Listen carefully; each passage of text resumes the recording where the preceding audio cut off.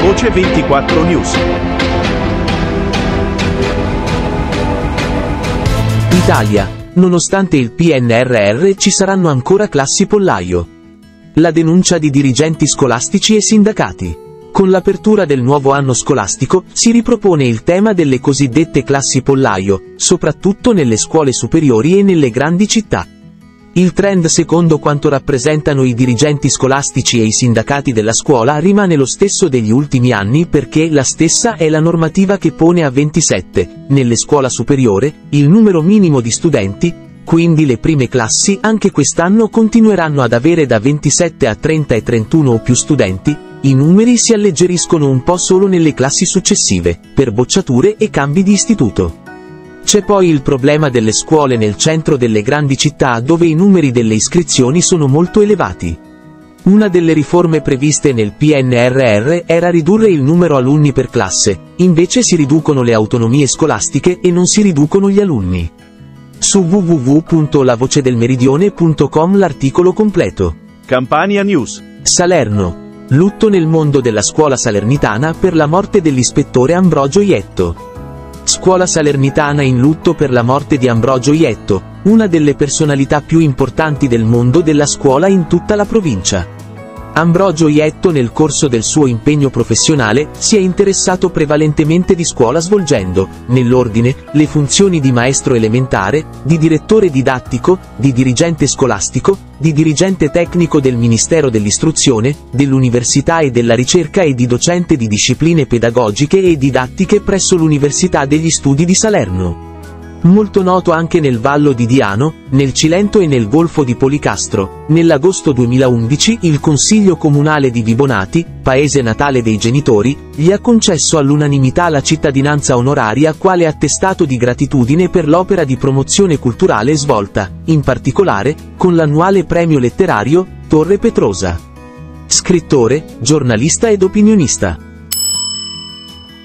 Buccino, Salerno, Chiude il Museo Archeologico Nazionale di Volcei a causa della mancata manutenzione comunale. Buccino, un pittoresco borgo con poco meno di 5.000 abitanti, ma con una storia dove trovano particolarmente rilievo l'aspetto culturale, archeologico, gastronomico e naturalistico. Ultimamente tra la Proloco e il sindaco Freda, non vi è più feeling. Va ricordato che la locale Proloco ha realizzato per vari decenni eventi che hanno portato migliaia di visitatori e turisti, tra cui ricordiamo il Volcei Wine Jazz tredicesima edizione e le Storie Volceianae giunta alla 44esima edizione, oltre alla cura dell'apertura del Museo Nazionale di Volcei. Purtroppo il sindaco Freda si è personalmente opposto non concedendo alla Proloco gli spazi pubblici necessari alla realizzazione delle storiche iniziative. Difatti il primo cittadino, inviando una nota ai dirigenti comunali, vieta a quest'ultimi di rilasciare qualsiasi autorizzazione alla Proloco. I vertici della Proloco comunicano di aver impugnato tale decisione presso il TAR, il quale ne ha fissato la Camera di udienza per il 12 settembre 2023. Una cosa è certa, il Museo Archeologico Nazionale di Volcei chiude per mancata manutenzione comunale. Su www.lavocedelmeridione.com l'articolo completo. Sapri, Salerno. Il 21 e 22 agosto il chiosco Crivella ripropone la festa d'estate con l'appuntamento Crivella e Friends. La gelateria Crivella, sul lungomare della città della spigolatrice, è meta per tutti gli amanti del gelato fatto ad arte, punto di incontro e ritrovo per gli amanti del buon gelato che sono disposti a macinare chilometri per assaggiare i nuovi gusti proposti dal maestro gelatiere, Enzo. Enzo con il suo animo artistico e sempre alla ricerca del meglio, da oltre 40 anni non si ferma nella ricerca degli ingredienti locali. Anche quest'anno il leone, soprannominato così per la sua folta capigliatura, festeggerà l'estate, con l'ormai consolidato appuntamento Crivella e Friends. Ospiti, due amici del maestro gelartiere, due maestri pasticceri, il 21 agosto alle ore 22, con Gerardo Di Dato, di Angri e il 22 agosto sempre alle ore 22 con Sabatino Sirica, di San Giorgio a Cremano. Agropoli, Salerno. Al castello di Agropoli, serata dedicata al grande Totò con Morgese e Del Prete.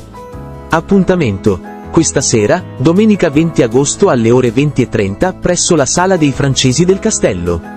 Serata evento dedicata al principe della risata Antonio De Curtis, in arte Totò. L'occasione è data dalla presentazione dell'ultimo libro del pittore Antonio Morgese, artista napoletano, che nella sua lunga carriera ha omaggiato più volte con le sue opere il grande Totò tanto da essere considerato il suo principale disegnatore. Vallo di Diano, Salerno. L'Italo Disco dei The Colors per la prima volta nel Vallo, il 22 agosto concerto gratuito a Sassano.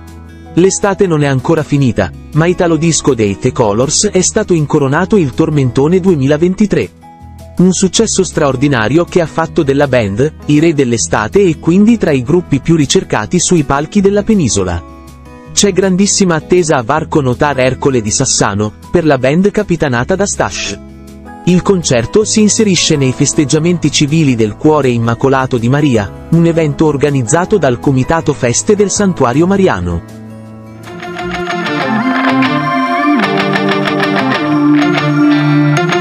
La voce del meridione. Una voce libera. Informazione libera.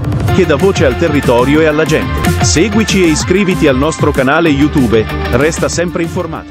Calabria News. Calabria. MIT, investimenti da 75 miliardi per Calabria e Sicilia.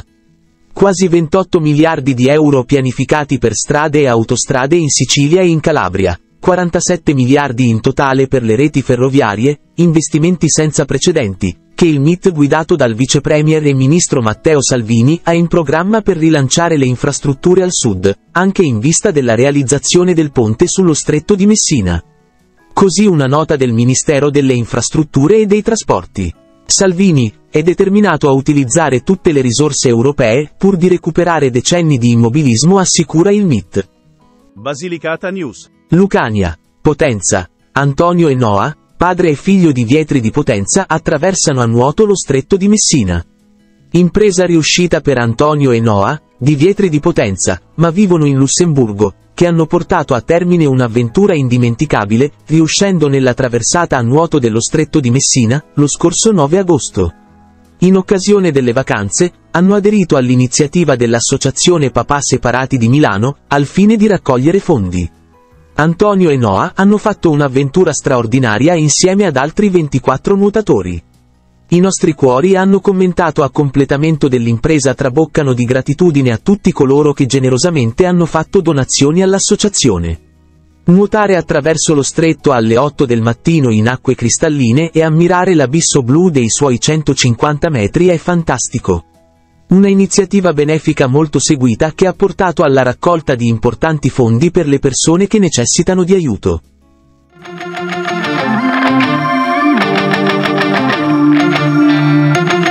La voce del meridione. Una voce libera. Informazione libera. Che dà voce al territorio e alla gente. Seguici e iscriviti al nostro canale YouTube. Resta sempre informato.